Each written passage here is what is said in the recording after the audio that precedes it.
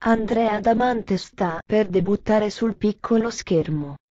L'ex tronista di Uomini e Donne, che ha ampliato la sua popolarità partecipando al Grande Fratello VIP, ha sostenuto e superato un provino che l'ha catapultato nel mondo di Don Matteo, la fortunata fiction di Rai 1 che si prepara a tornare in prima serata a partire dall'autunno prossimo con l'undicesima stagione.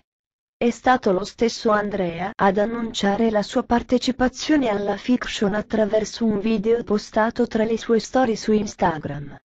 Nel filmato in questione compare accanto a Maria Solepoglio, youtuber che ha cominciato la sua carriera sul web quando aveva solo 14 anni. I due sembrano entusiasti di partecipare alle riprese e hanno scelto di condividere la loro soddisfazione con le rispettive platee di followers sui social. Damante non è l'unico extronista di Uomini e Donne ad aver recitato nella fiction, che ha per protagonista Terence Hill. Prima di lui è toccato a Francesco Monte, attuale compagno di Cecilia Rodriguez.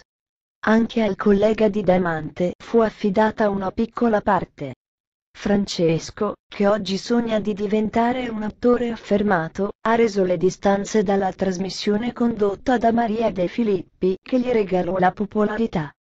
Oggi si dice perfino disposto a trasferirsi all'estero, negli Stati Uniti, pur di realizzare il suo sogno. Anche Cristel Carrisi figlia di Albano, ha recitato nella medesima fiction, mentre grossa curiosità suscitò la parte affidata a Belen Rodriguez, showgirl che è stata tra i volti noti che hanno preso parte alle riprese. La puntata che vide la partecipazione dell'Argentina fu un enorme successo in termini di ascolti. Chi se ne frega.